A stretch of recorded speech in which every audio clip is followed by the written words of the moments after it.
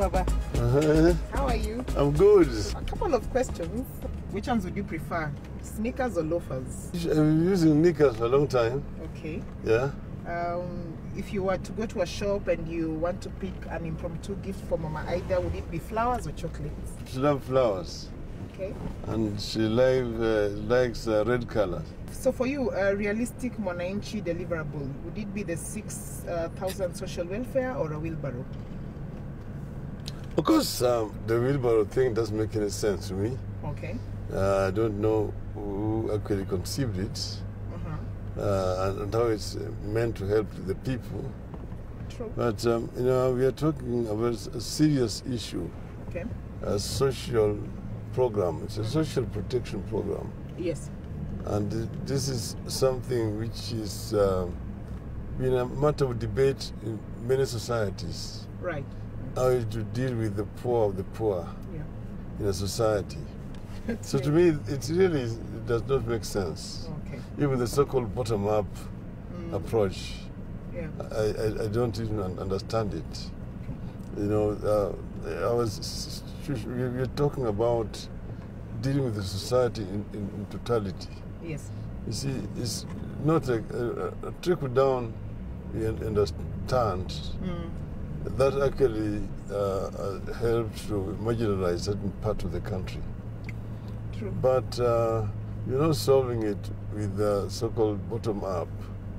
You just need to Mm. ensure that um, you are fair and there's equity in sharing of resources across the country. You want things to change, but then you find that uh, there are many other factors conspire to make you almost helpless changing the, the situation. I, I am angry, angry that our people still live in such abject poverty. So many years since independence. And I believe that this situation is actually correctable. And that uh, we've done mistakes in the past, and that is what is responsible for where we are. Uh, given the opportunity to choose one mtaa, either Kayole, Dagoretti, or Githurai, which place could you choose at least to live in? Um, because Dagoretti is near me, uh, uh, favorite food ukiwa hapo ndani unakulanga nini?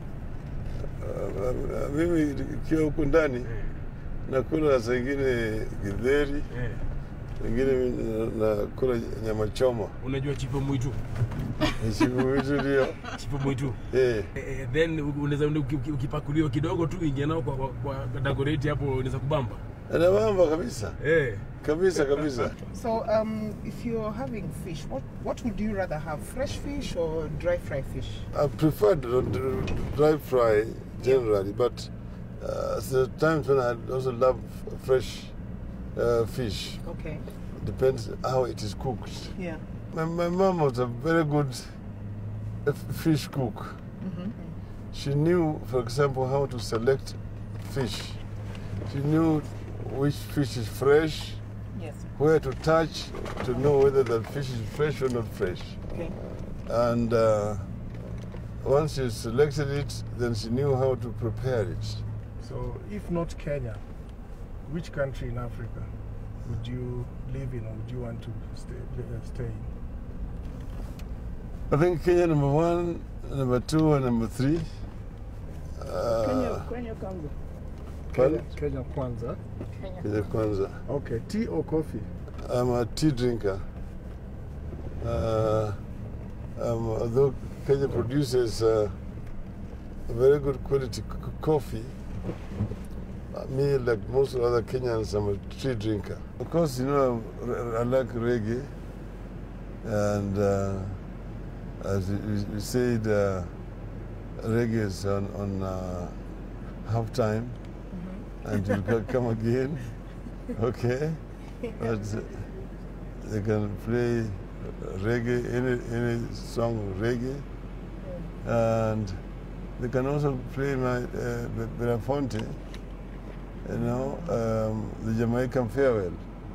And the baby, the nights are gay, and the sun shining daily on the mountain top. I took a trip on a sailing ship. When I reached Jamaica, I made a stop, but I'm sad to say I'm on my way. Won't be back for many a days. My head is down, heart is turning around. I had to leave a little girl in Kingston Town. Who is the fifth president of Kenya? I didn't know, I think uh, I saw him Uh-huh. sometimes back. He's got different names. One was he was called Tinga. Uh-huh. At the other time he was called Agwambo. Uh-huh. At that time he was called Baba. Uh-huh. I've forgotten his other names. Happy birthday to you. Happy birthday, dear Baba.